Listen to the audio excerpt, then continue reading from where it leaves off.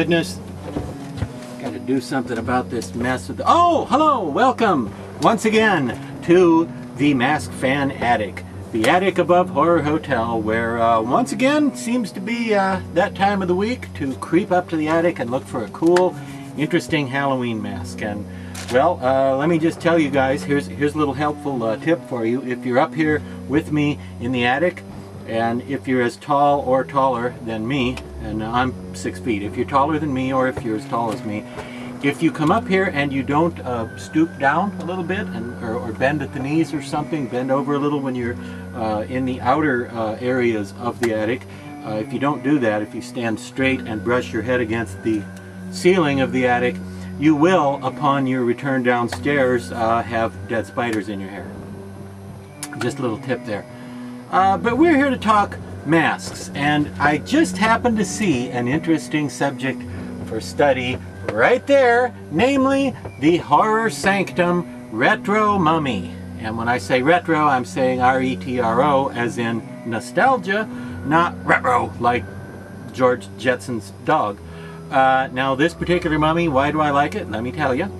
Uh, it's part of a series designed to look like old school masks, like monster masks looked uh, back in the, uh, well, the golden age of masks, I guess, the 60s and 70s.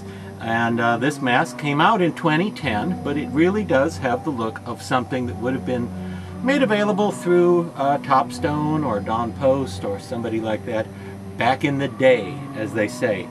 And as far as uh, mummy characteristics, it has uh, the bandaged face, as you can see, partly covered by bandages, which makes it look a bit like uh, Klaris, the mummy from Abbott and Costello Meet the Mummy, 1953, although it reminds me the most, for some reason, of Tahotep, the mummy from Assignment Terror, 1971, aka El Hombre que Vino de Ummo.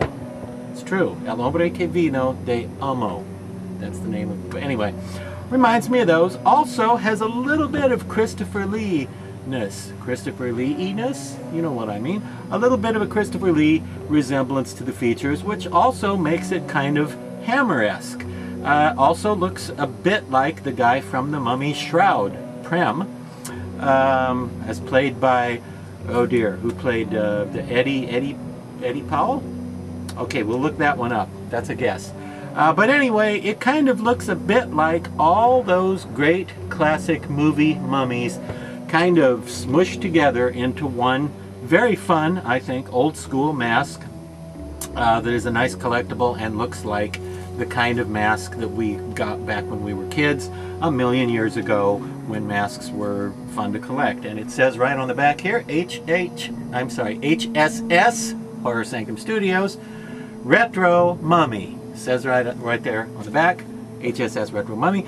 And now the Topstone masks that this is sort of emulating usually were more like three quarters and just sort of stopped here and didn't give you this much coverage of the neck and the back of the head. So this is a bit more uh, than a Topstone mask would have been and a bit uh, thicker, better casting too, but uh, really has the old school look and uh, again, combines characteristics of a lot of classic mummies, and I just think it's a super fun mummy. And if you're looking for a, a fun mummy, if your idea of fun includes uh, ancient, rotting, undead corpses, and I know mine does, um, I recommend it. And there you go. So uh, until next time, stoop over if you're in the uh, outer areas of the attic where the uh, ceiling gets uh, bit lower and if you've uh, already failed to do that go have a friend pick those dead spiders out of your hair and we'll see you here again next time.